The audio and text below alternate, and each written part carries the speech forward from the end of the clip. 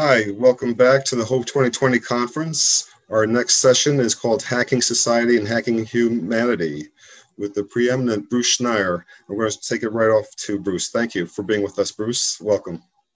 Oh, thank you. And thank you all for, uh, for showing up. I know this is uh, hard not being together. I was looking forward to Hope, to DEF CON, to, to a lot of things, and now we're all home. But I appreciate you spending the, the next hour with me.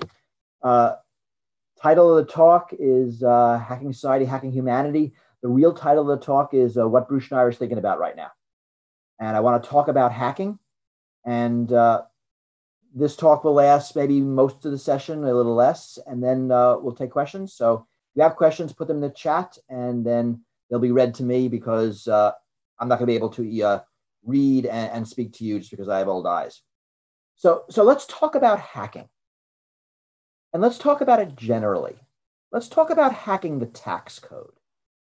And the tax code is, is code. It's, a, it's an algorithm that has inputs and an output. Uh, it has vulnerabilities. Uh, we call them tax loopholes. It has exploits. We call them tax avoidance strategies. And it has black hat hackers to find these exploits, and we tend to call them tax accountants or tax attorneys.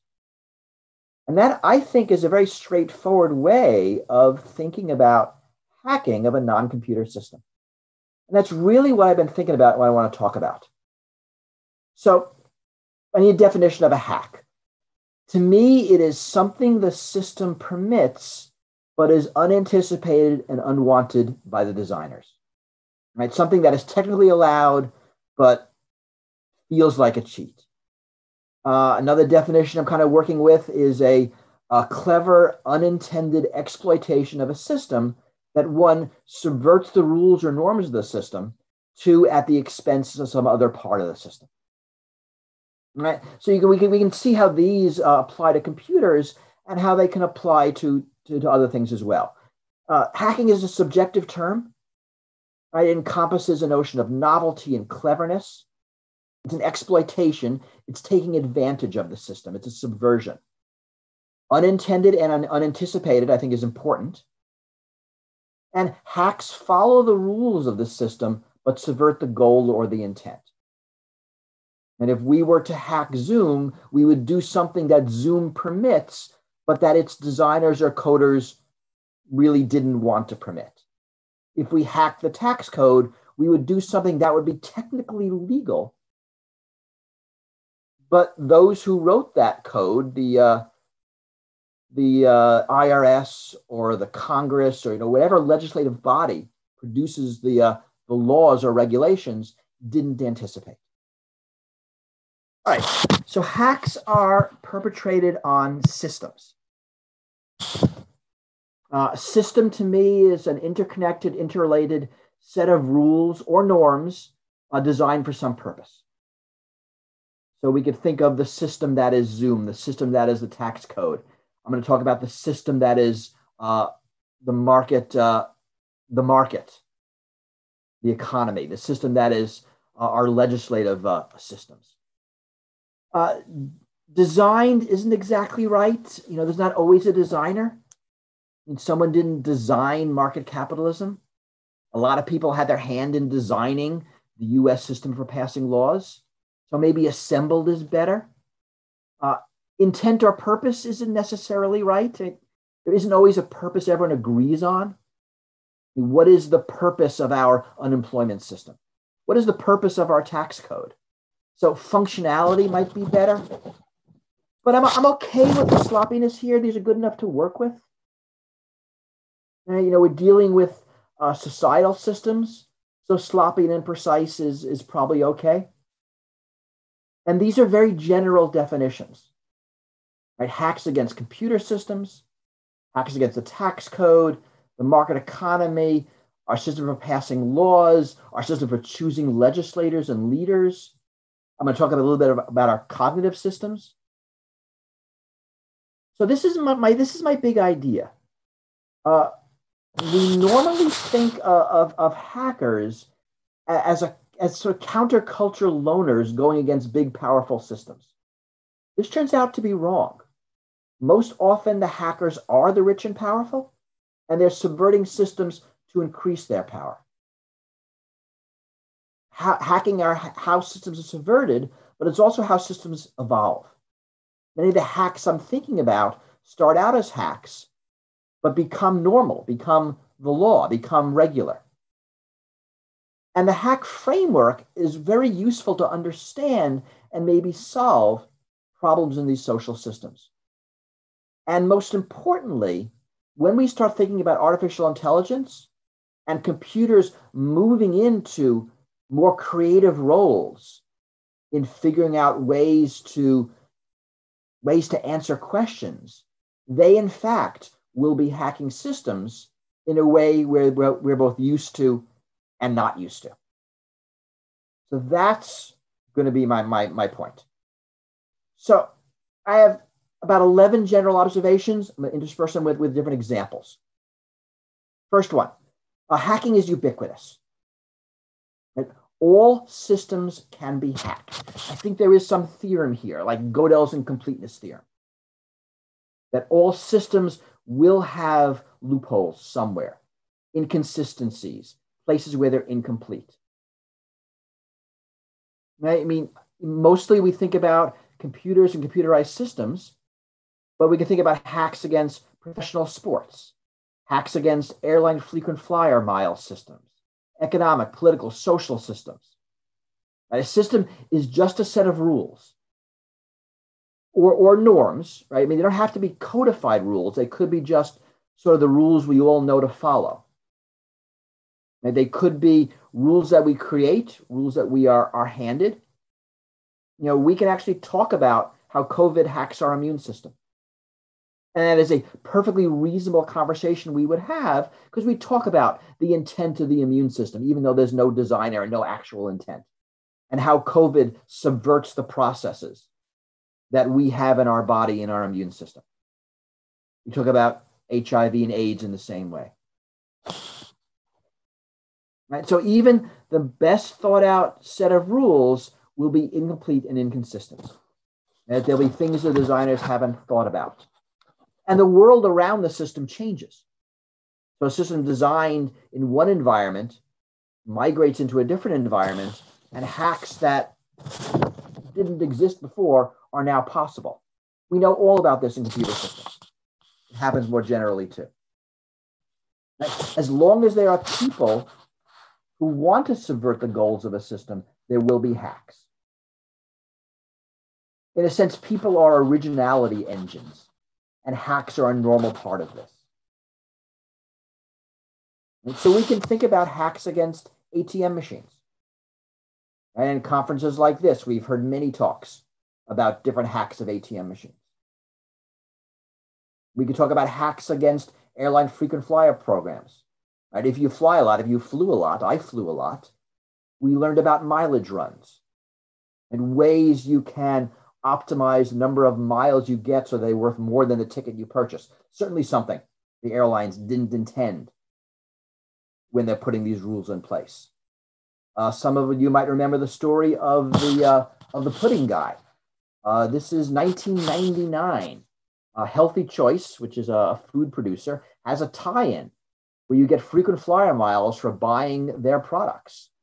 And there is one person who searched for the cheapest qualifying product he could find, which turned out to be single serving pudding cups. He bought about 12,000 of them at 25 cents each. He got 1.2 million miles for uh, a little over $2,000. Then he donated the pudding cups to charity and got a tax write off. This is totally a hack of the system. Uh, closer to the work we do, we can think about hacks against uh, uh, casino games, like card counting, the uh, the MIT group, and hacks against sports. I mean, sports are surprisingly often hacked, and a lot of the rules that uh, we see today as normal started out as hacks. Uh, in, in 1951, in baseball, some manager said, sent a three and a half foot tall batter a midget, uh, out on the field because he had such a small strike zone. Now we know the first person, the first person who realized that you can curve your hockey stick and have the puck uh, fly a lot faster and, and, and get off the ice and change the game really forever. And since that person made that discovery, made that hack, uh, the uh, the governing board of hockey, I think three or four times, has changed the rule on the amount of curvature. Formula One racing is full of hacks. There's one year when some team fielded a uh, six wheel car. Everyone said, You can't do that. And they handed them the rule book and said, Show me. And within about eight months, the rule book said that cars can have no more, or actually no less, just in case, uh, than four wheels. Everything is hacked. And hacks are parasitical. And hackers are trying to subvert the goal of the system to their own first private goal at the expense of the rest of the system. And they're trying to gain some advantage for themselves. But if the system fails, the hack fails too. And if ATM machine hacks are so successful that there are no more ATM machines, then there's no more hacking of ATM machines. And if hockey disbanded because someone curved their stick and no one could figure out what to do about it, no curved stick, no hockey, the hack doesn't work. Right? So, like any parasite, hackers can't be too successful. And, I don't mean this sort of pejoratively. And people are behaving rationally in their self interest. Parasites are, are a perfectly normal part of, of, of our biosphere. And so when people hack, they're acting in their financial self interest, or maybe their emotional, political, ethical self interest, sometimes out of necessity if the systems are stacked against them. But they might have the goal to destroy the system. I'll talk about that a bit later. And you can see a lot of hacks in finance. Regulation Q was a long-standing United States banking regulation that was hacked repeatedly over the decades.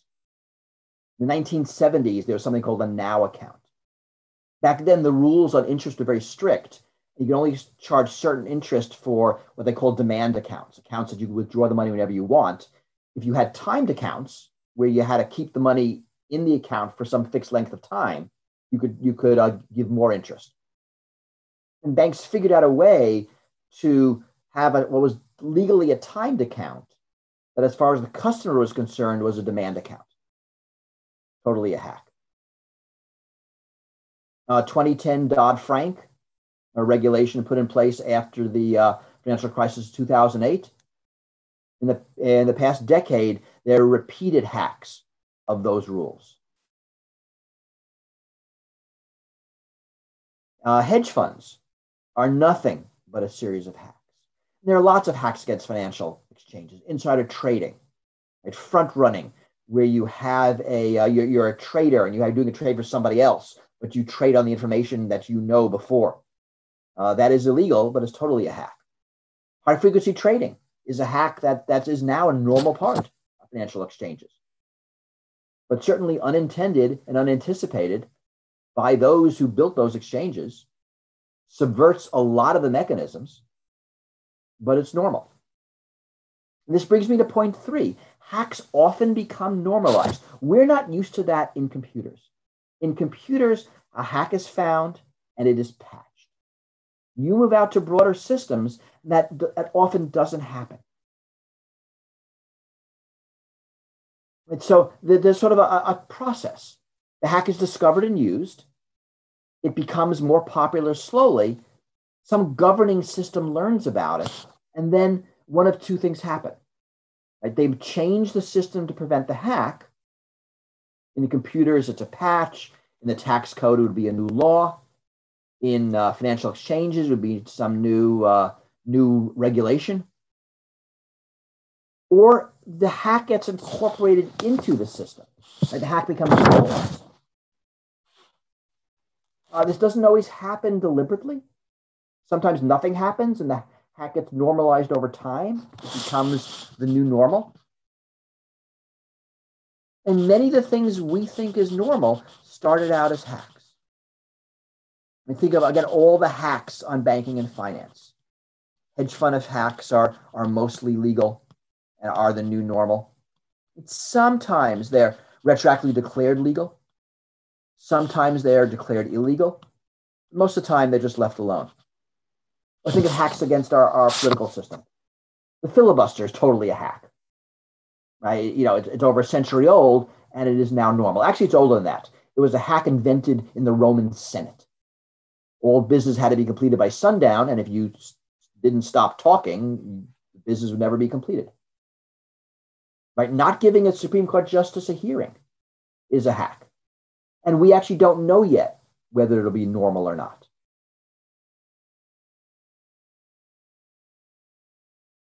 We can think about uh, hacking economic systems, uh, monopolies. Too big to fail is a hack. VC funding is a hack of market economics. Right? Markets are based on knowledgeable buyers making decisions amongst competing products, and pressure to sell to those buyers uh, depresses prices and incents uh, innovation. That's the way the market works. That's the system. VC money injected from the side hacks that process, which is why you see so many completely unprofitable business models surviving. They would not survive in the normal system. Right? And the best strategy for a startup is take enormous risks to be successful because you're funding going out and you'll be dead otherwise. Right? And you can do it without worrying whether you're destroying something. And this is a vulnerability. This is a hack. Uber is totally a hack. WeWork is a. I guess WeWork was. It brings me to my fourth point, which is about money. Again, we normally think of hacking as something a disempowered do against powerful systems. It is more common that the wealthy hack systems to uh, their own advantage. Right? They are better able to discover hacks because they can devote more resources to the problem. They can buy expertise that they need to. They're better able to leverage hacks. And these hacks are more likely to become normalized because the wealthy can use their influence on that normalization process. A lot of ways uh, we hack laws. I mentioned Uber being a hack just on VC funding, but Uber is full of hacks because Uber hacks quite a lot of the regulations around taxis and limousines. Airbnb hacks a lot of the regulations around uh, hotels and uh, short term rental properties. A lot of hacks involving jurisdictional interactions. There's a, uh, I mean, a very famous uh, tax hack, which is now illegal, but companies like Apple and Google used it for uh, for many years, and it involved the tax codes of Ireland and the Netherlands and some offshore tax haven and the United States. Right? Interactions between those four tax codes allowed these companies to shield uh, enormous amount of income from uh, from freely from any tax at all. My fifth point hacking is a way of exerting power. Hacking is a mechanism to gain personal power. The disempowered do it to subvert existing power structures, so ways to bypass bureaucracy. Mean, a lot of the world has really no choice in the global systems that govern their lives, so they really have no option but to hack them. And people always hack systems that are causing them problems. But the powerful do it to increase their own power, right? To influence the evolution of a system in their favor. I think there's a difference in the type of hacking these two groups do. The disempowered can be faster, but the powerful are more effective. Because mostly in our society, money equals power. We could look at uh, legislation. Lots of hacks in the legislative system hidden provisions in bills that are voted on and people don't know about, must pass legislation that you can slip riders in that have to be passed. Automatic lawmaking. US Congress has this weird system for something like base closures, where nobody actually wants to vote on closing a base in their district and they can't for political reasons. So they vote to establish a commission that will decide what bases to close, and then they'll happen automatically, unless Congress overrides it. So it's a way to vote on it without actually having a vote being recorded on it. or ways to delay legislations. You're reading last week uh, on a, a, hack in, in the Washington state legislature where there are bills that are put in process that are basically blank. So later on, if someone needs to pass a law, they can go to an existing bill and make an amendment, which basically means add the stuff. And they use that to hack whatever the process is about introducing legislation. So my sixth point context matters when evaluating a hack. We're talking a lot about hacks, some are good, some are bad. Hacks subvert the intent of the system, but that's not always a bad thing. Some attacks are beneficial, some of them are innovations.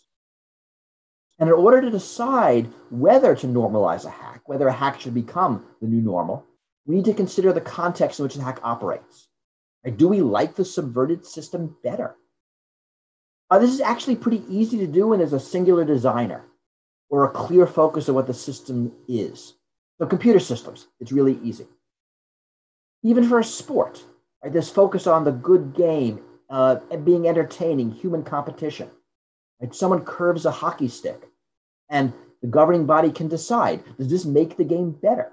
Right? It makes the game faster, makes the game more exciting, makes the game more dangerous, and we could decide whether we're okay or not with that.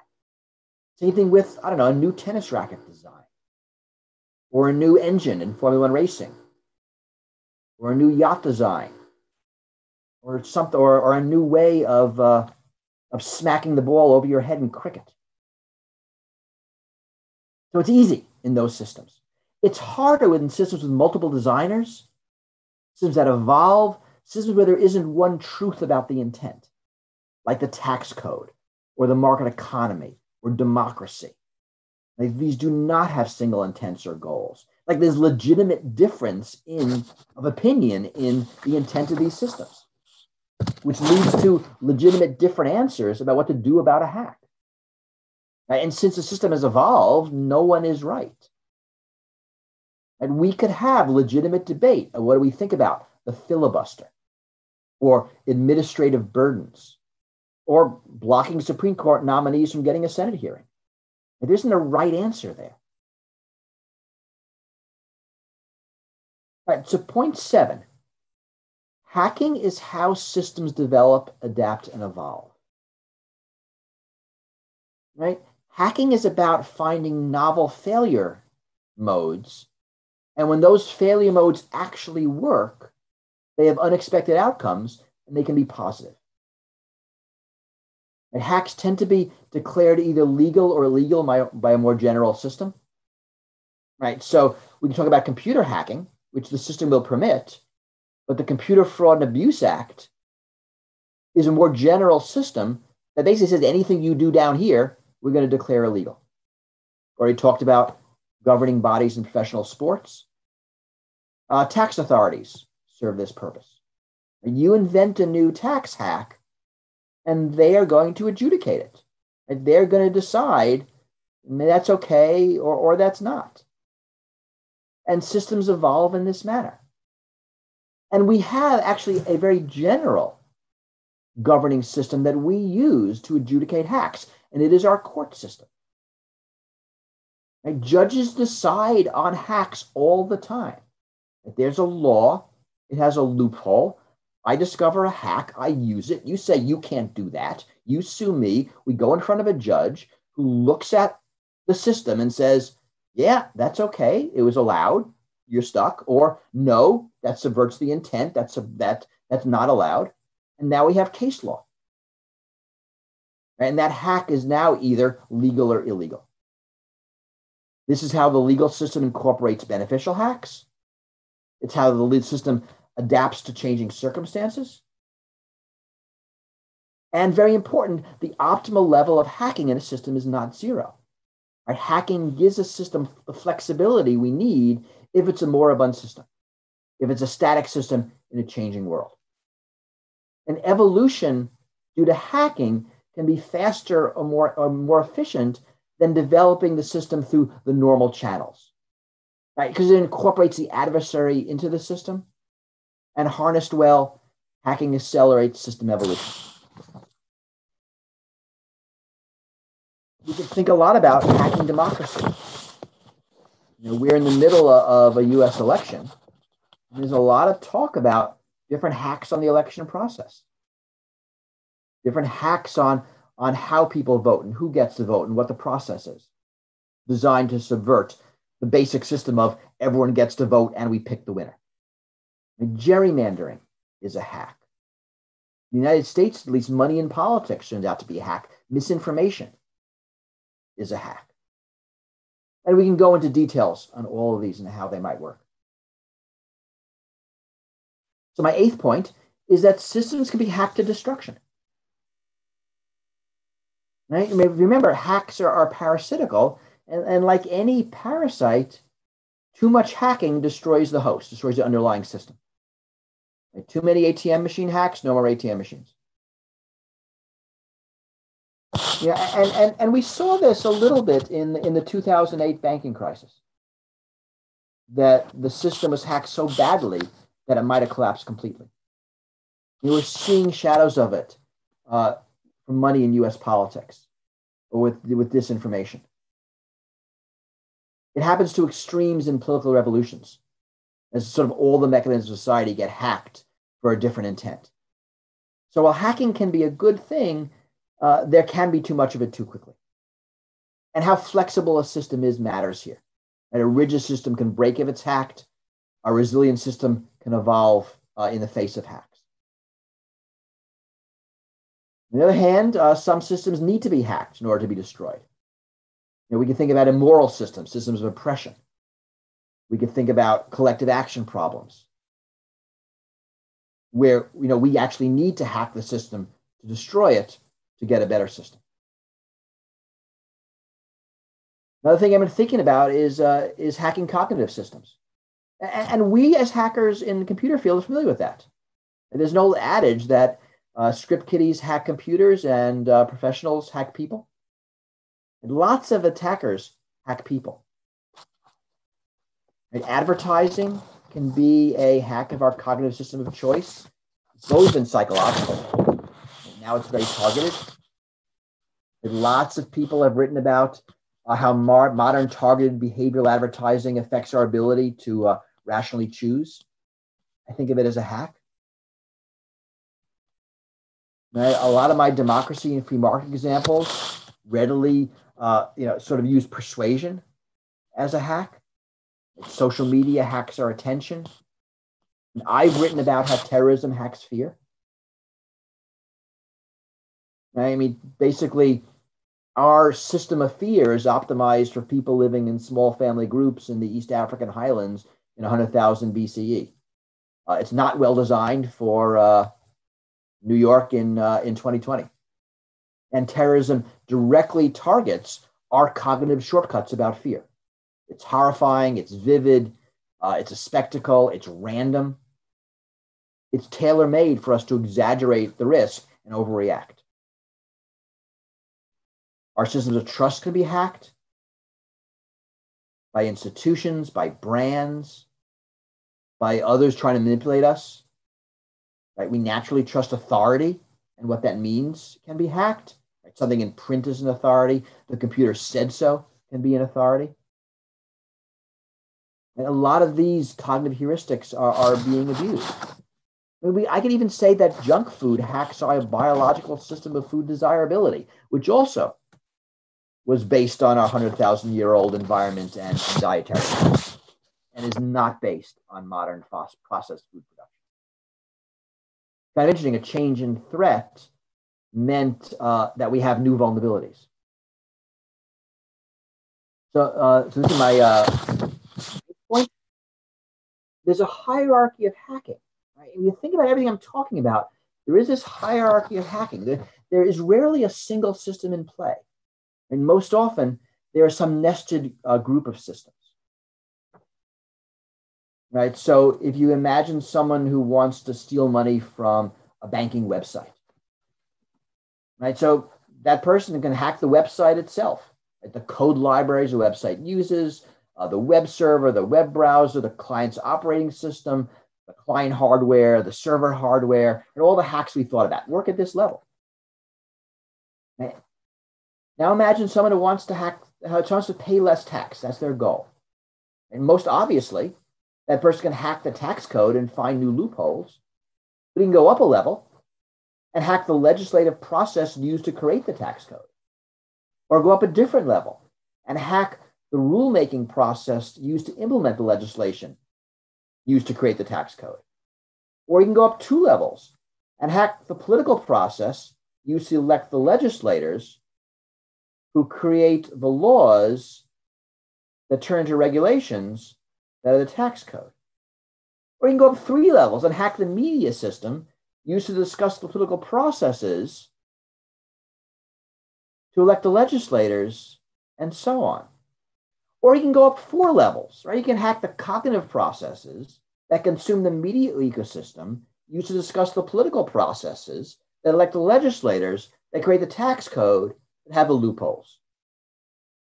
Or actually, maybe you could bypass all of that, go down a level, and find a hack in TurboTax.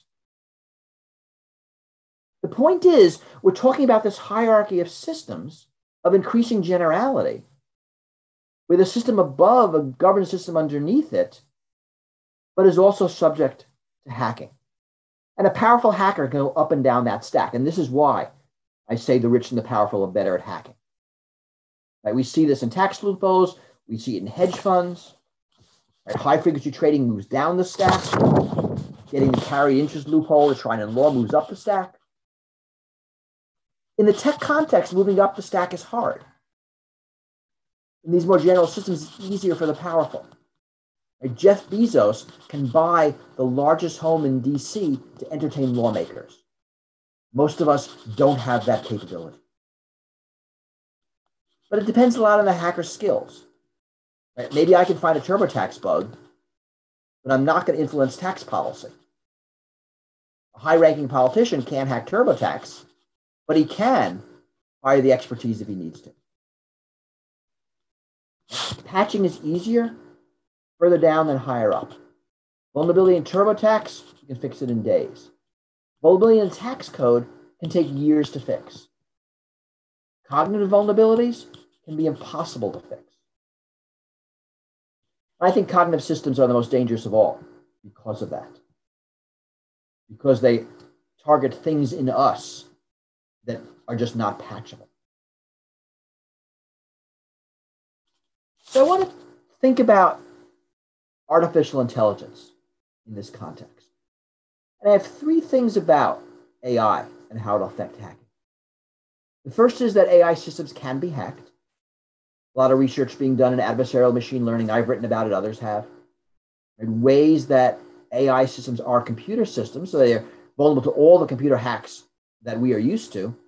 But there are additional hacks that, because they are machine learning systems, they are vulnerable to. So we see examples of stickers being uh, placed on stop signs that we as humans don't notice, but uh, AIs that are doing self driving interpret as speed limit signs. Or, or, stickers you can put on the road that we as drivers don't notice, but an AI will, will swerve to avoid into oncoming traffic. So, as AI systems and ML systems become more embedded in our society, they're going to be vulnerable to these sorts of hacks. I think something that's very much we need to watch out for. I think that's the least of our worries. Also, think about AI hacking us. And a lot of these cognitive hacks are being implemented by computers, but being designed by people. I mean, as computers start designing algorithms, they will be hacking us. And we see some uh, sort of very preliminary versions of that. The, uh, the recommender algorithms on, on, on things like YouTube that push us to extreme content because the uh, the recommender system is optimizing itself for engagement, and it turns out outrage is a really easy way to incent engagement in human beings. Now, what, what scared us about Cambridge Analytica, that seems to be largely to be not true, is that system divided us by our emotions into categories, and ad systems were able to target ads to us based on our emotions, based on, on the way we saw the world. Right? The, the, the exact thing they did seems to have not made a difference, but that sort of thing is perfectly plausible.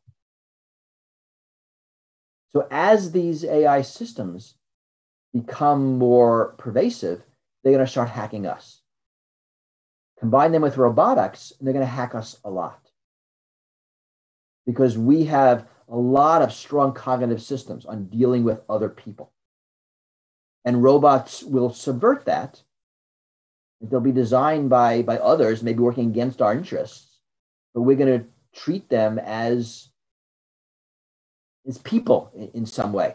And there have been experiments in this.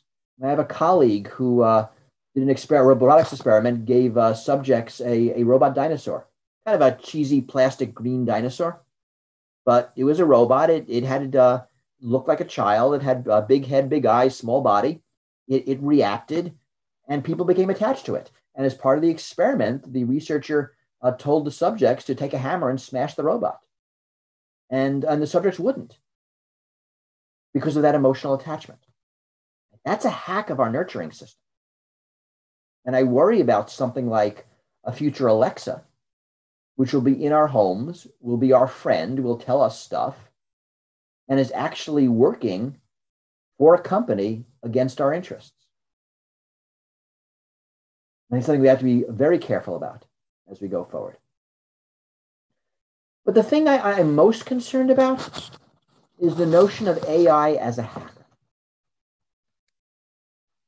Throughout this talk, I've been thinking about hacks as a creative endeavor as a fundamentally human thing to do. What happens when computers start hacking? What happens when computers find vulnerabilities? I mean, we're already seeing ML systems used to find vulnerabilities in software. How much before you can feed an ML system the entire tax code? and give it the goal of minimize your tax. How many vulnerabilities will it find? 10, 100, 1,000, a million? I'm not convinced we are prepared for a million tax loopholes, for a million vulnerabilities. And more interestingly, an AI is not going to subvert the system the way we are. So most of you remember this. I want to tell a story anyway of, of the Volkswagen engine hack. This was not an AI system, these were engineers, and they designed the engine in, in certain Volkswagen cars to detect emission control testing and to behave differently. And so they built their engine, it would have one performance on the road that basically had violated all emission control standards. But during the test, the engine would behave in a way that passed all emission controls tests. Now, that was done deliberately. That was a deliberate subversion of the emission controls testing process. But imagine you uh, told an AI, your goal is to maximize engine performance and pass all emission control tests. It is perfectly reasonable that it would come up with that same hack. It wouldn't have the context to understand that it was not intended. And we might actually not notice unless we took the time to see what it did. And in complex systems, uh, that can be uh, prohibitively difficult. And this is always a possibility because the problem is that goals and intentions are always underspecified. It is not possible for me to, for me to describe my intention, my desire with enough detail that it can't be subverted, that it can't be hacked. Right? You cannot tell the genie your wish in a way that he is unable to A, grant it, and B, in a way you wish he didn't. Right? The genie can always outsmart you because you can't, you just can't put enough detail in your wish. There's always going to be something you leave out.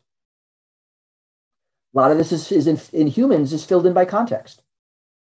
And if I ask you, uh, get me some coffee, you know not to buy me a coffee plantation. You actually know not to bring me a single bean. You also know not to go to Starbucks, find somebody with a cup of coffee, knock them down, grab it, and bring it to me. I don't have to tell you any of that. It's all assumed in the world we live in. But any kind of directed agent is going to have to know all of that and a lot more besides, or it's going to come up with some answer which technically meets the goal we established, but it is not something we intended. And I'm less worried about uh, goal hacking that we notice.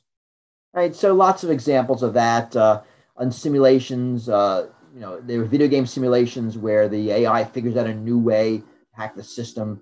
Uh, I saw a video of a driverless car driving around in circles because of the goal it got. It decided the best way to meet that was to drive around in circles. Right? We're going to notice that. Right? The car is driving around in circles. Let's fix that.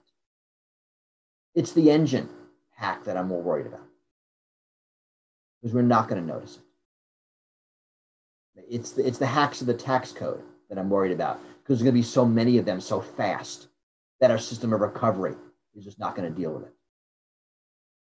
Depends a lot on the domain here. Right? The difficulty of translating the, the rules to, uh, to the AI. It'll be a long time before an AI comes up with a new hack of a, of a game of hockey. Right? For AI to figure out to curve a stick, it's not only has to know the rules of hockey, has to know the aerodynamics of a puck and, and everything else beside it, human physiology and, and sort of all those things. And that's going to be a long time. But more constrained systems, like the tax code, like our financial markets, it really feels like something we're going to have to worry about within the decade. If we ever get androids playing baseball, they'll come up with hacks. Until then, I'm not too worried. But in general, and this is my final point, we need to figure out how to harness hacking for social progress without destroying society in the process. A lot of complexity here. We want the hacks that, that benefit us. We don't want the ones that harm us. We want the rate to be a rate we can manage. We want our systems to be able to be resilient and adaptable. I'm not sure how to get from here to there. So that's what I have prepared. Uh, this is probably my next book. So I'm, I'm really interested in anybody's comments. Uh, please ask questions. They'll be relayed to me because I'm not going to be able to read them from where I am. Uh, but if you don't get your question answered, have a comment that doesn't show up here, email me. I'd love to hear uh, what you think about this. This is uh, something I'm, I'm showing to a lot of different audiences, and uh, Hope is a great audience for this in uh, some really important ways. So please, after this talk, think about this and email me with, uh, with your comments. So with that, I'm, I will field questions. All right, thank you very much, Bruce. That was very interesting. We do have a few questions here for you, and I'll start off with the first one. The question was, uh, where does civil disobedience fit this model, especially right now with the quote unquote systems that let it exist versus quote unquote systems changing to prevent it, preventing hacks. So civil disobedience can be a hack. One of the things I'm struggling with is the boundaries of my definition of a hack. Right? If everything is a hack, then nothing is a hack, and my and what I'm saying is useless. So to me, a hack is a subversion of a system, and civil disobedience is often that. And that is a, a way that the powerless are hacking a system that's not working in their in their favor. Now, the powerful who like the system are trying to make that hack illegal to stop the hack. It's sometimes uh, the hackers win, and, and that's a good thing. And sometimes we're trying to hack a system to destruction. Right? It is an immoral system, and we, we, we, we want to destroy it.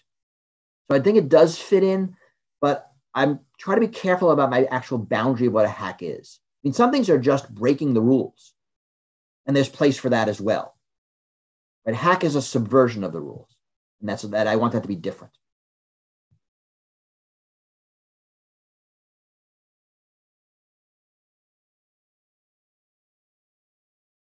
I can't hear you. You are muted. Thank you. Um, we have a few more que- uh, time for a few more questions.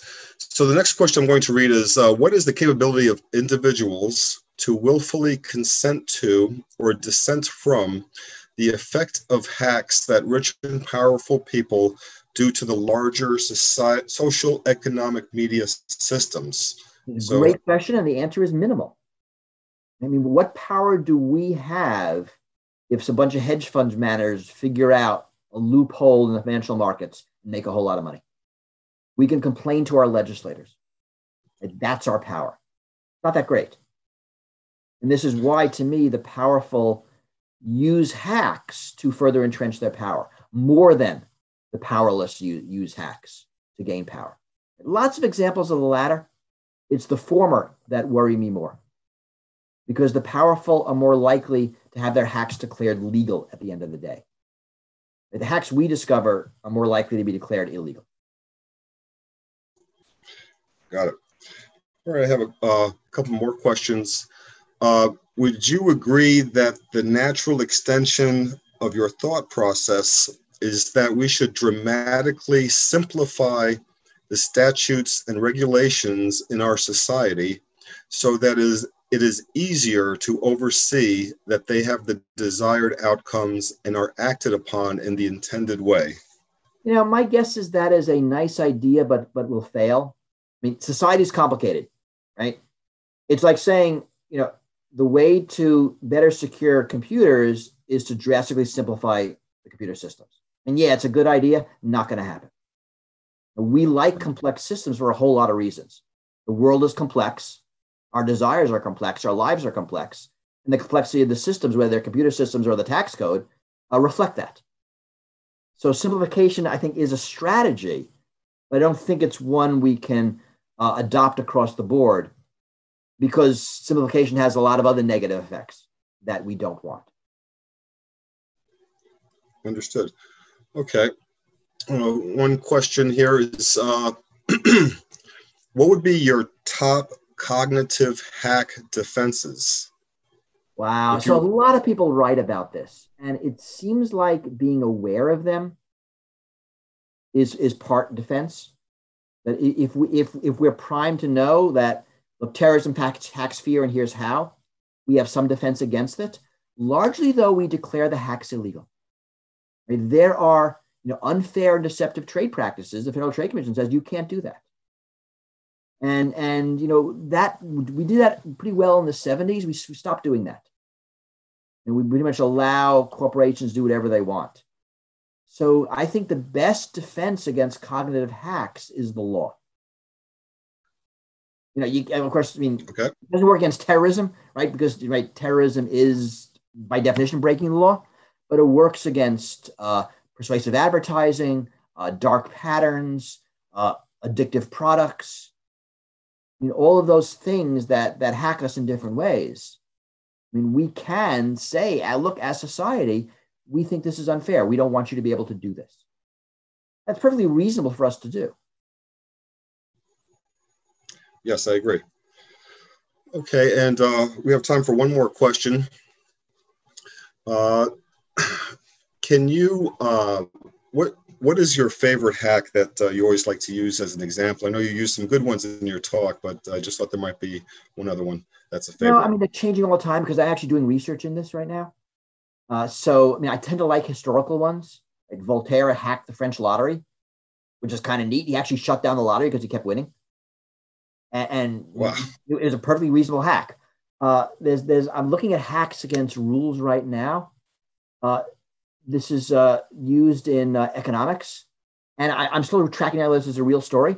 But supposedly, when the uh, British ru- uh, ruled India, one of the things they did to uh, to limit the number of cobras in the world was uh, was to pay for dead cobras. And you kill a cobra, bring it to us, we'll pay you. And the idea was the people would kill cobras and for the reward. What people did instead is they bred cobras because they got more reward that way. Even worse, the, the uh, British government said this is not working. They stopped the program. So everyone released the cobras into the wild. okay. Pretty good story. That's a great story. There are a lot of these. I have, I have lots of stories. Sports hacks are fantastic. uh, because you know it, it is a system that is that everyone is trying to subvert for, for personal gain. Uh, political hacks, I think, are often a lot of fun, especially historical ones. A lot come from ancient Rome. Surprising how many of our political hacks started out in ancient Rome. Right. So, well, so uh, I'm trying to find stories everywhere. Okay. Well, thank you very much. thank you very much, Bruce. We're out of time, and I really want to thank you on behalf of everyone here, the attendees and the staff. Uh, we really appreciate you coming and sharing your thoughts with us. It was very enlightening. Hey, thank you. Thanks for putting this on, even in the pandemic. You guys are great. All right, thank you. All right, and uh, we'll be back for our next show. Thank you very much, everybody.